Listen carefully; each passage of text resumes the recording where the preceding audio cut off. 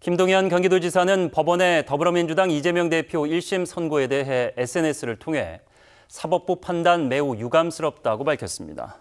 김 지사는 이어 대한민국의 법의 상식과 공정이 남아있는지 묻지 않을 수 없다고 지적했습니다. 다른 SNS 글과 달리 검은 바탕에 흰색 글씨로 적어 1심 판결에 대한 유감의 뜻을 강하게 표현했습니다.